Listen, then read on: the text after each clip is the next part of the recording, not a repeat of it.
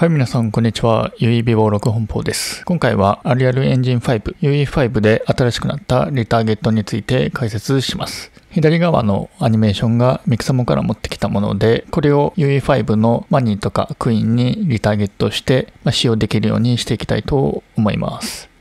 あと UE4 のグレーマンと同じ棒の階層構造を持つキャラクターのリターゲットに関しても解説していきます。それでは早速やっていきましょう。当チャンネルはご覧の方々にご支援していただいております。この場を借りてお礼を申し上げます。それではまずこのアニメーションからリターゲットしていきたいと思います。このアニメーション自体はマーケットプレイスの MCO マキャップベーシックスから持ってきたものになります。で、これはグレーマと同じ棒の階層を持っています。こういう感じですね。名前とこの階層構造も全く同じになります。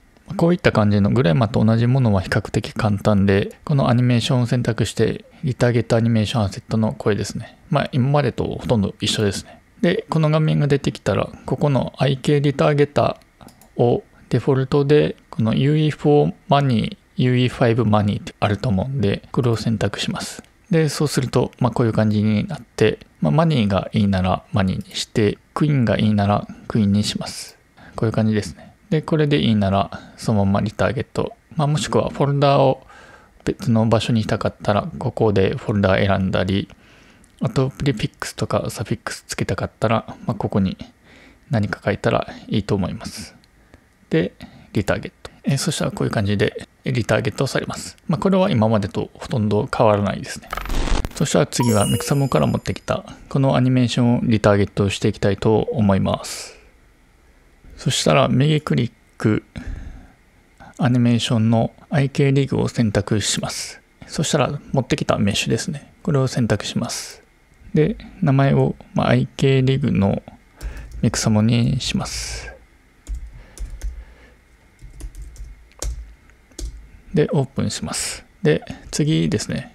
コンテントのキャラクターズにあるマネキンズのフォルダに行って、で、今度リグズのフォルダに入って、えそしたらこの IK マネキンがあると思うんで、これもオープンします。で、今からやるのが、ここの IK リターゲティングにあるこの項目を作っていくことになります。そしたらまずこの項目のスパインをコピーします。コピーして、で、ミクサモの方に持っていって、ここのプラスアドニューチェーンを選択して、で、ここにペーストします。で、このスタートボーンはスパイン。で、エンドボーンにスパイン2を割り当てます。で、終わったらもう一回戻って、今度レフトアームに行ってこれをコピーします。で、同じく戻って、ここを、えーレフトアームにして、で、ここは同じくレフトアーム。で、次、このレフトハンドにします。で、また戻って、今度はレフトピンキーをコピーします。で、まあ、今までここプラスアドニューチェーン押しましたけど、こっちからこの左の項目でもできます。ピンキーなので、えピンキーのこの1をまず選択しておいて、で、シフトをしながら一番下のピンキー4を選択します。レフトのピンキーを選択します。で、右クリックして一番下のこれを選択します。で、ここにコピーしたものをペーストして、OK ですね。これをずっとやっていきます。え次、レフトのリングですね。で、リングなので、これとこれで、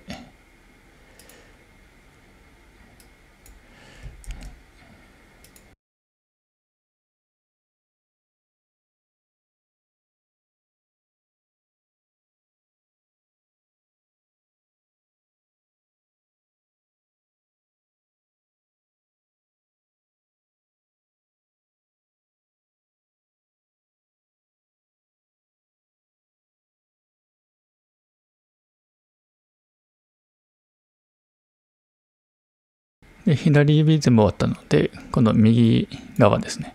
ライトアーム選択して、まあ、あとは一緒ですね。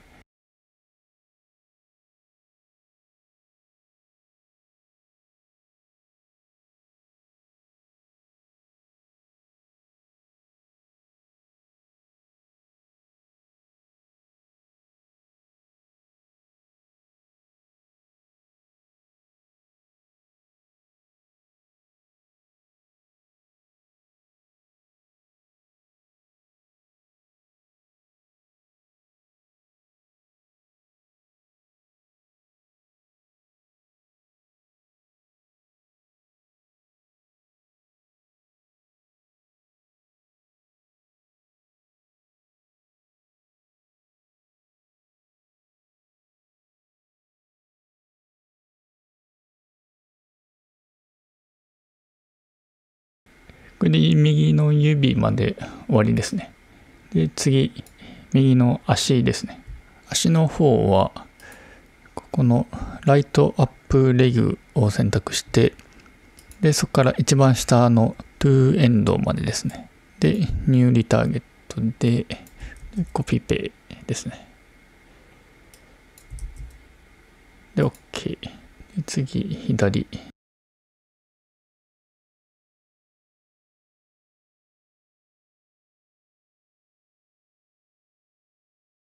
で、えー、右、左右の足ですね。左右の足が終わったので、次は、このツイストはいらないです。ツイストは全部飛ばして、そしてこのメタカーパルっていうのもいらないです。で、次、このレフトクラビクルを選択。で、これは左のショルダーなんで、えー、レフトショルダーを選択して、これです。で、名前、えー、レフトクラビクルにして OK。次、ライト。で、コピー。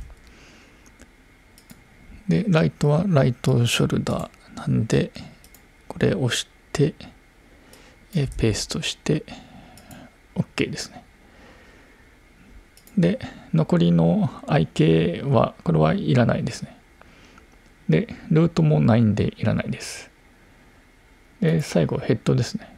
これをコピーして、で、ヘッドドはネックからヘッドでニューをしてヘッドにします。で、OK。これでチェーンの作成は終了ですね。次ですね、リターゲットルートっていうのを決めます。これはもうほぼ決まっていて、ヒップスですね。一番上のヒップスを選択して、右クリックで、このセットリターゲットルートこれを選択します。これだけで OK ですね。ここまでできたら、リターゲットの準備は OK なので、セーブを押しておいて、で、またブラウザに戻ってもらって、で、右クリック、アニメーションのこの IK リターゲターを選択して、先、今作ったこれですね。IK リグミクサモを選択します。で、せんえー、名前を IK リターゲッターの、えー、ミクサモから、まあ、UE5 のマニーということで、まあ、こういうふうにしておきます。で、オープン。で、開いたら、ここのターゲット IK リグアセットですね。ここのんじゃなくて、これですね。IK マネキン。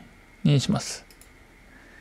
そうすると、こういうマネキンですね。マネキンじゃなくて、マニーが出てきたと思います。で、そしたらですね、ここのチェーンマッピングですね、不要なものが結構並んでいるので、このツイスト関係ですね。あと、このメタカーパルっていうやつは全部何にします。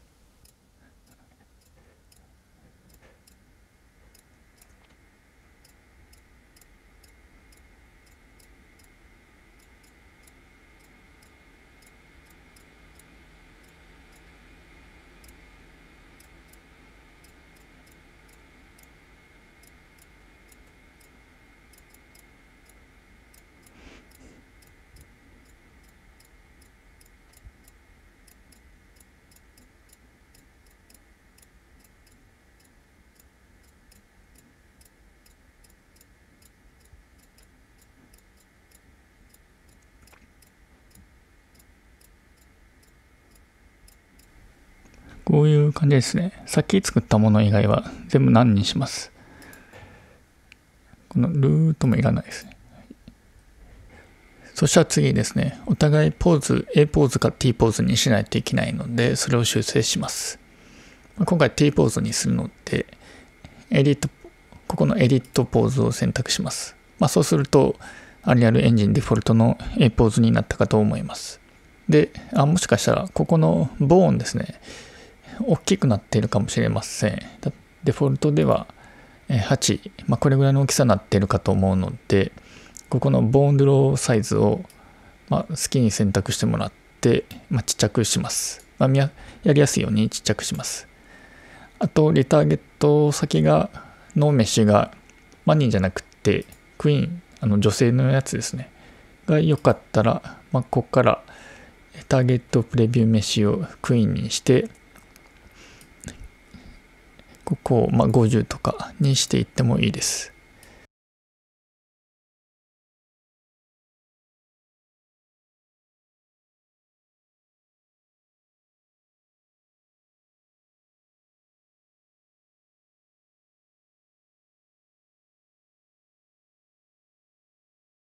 ポージングがだいたい一緒になったら、もう一回このエディットポーズを選択します。で、右側のアセットブラウザーにミクサモのアニメーションが入ってると思うんで、これをダブルクリックして、ここのプレイですね。これを押すと、お互いこういうふうに同じようにアニメーションされると思います。まあ、ミクサモのアニメーション何個あってもいいんで、まあ、いっぱいあったらそれぞれ選択していくと切り替わっていきます。で、リターゲットしたいアニメーションを全部選択してもらって、で、ここの Export Selected Animations を選択します。で、保存先を選んで OK するとリターゲットされます。で、リターゲットが終わったらファイルができるんで、そのファイルを開けると、まあ、こういうふうにリターゲットされているかと思います。はい。というわけで今回は Unreal Engine 5 UE5 でのリターゲットを解説いたしました。ご視聴ありがとうございました。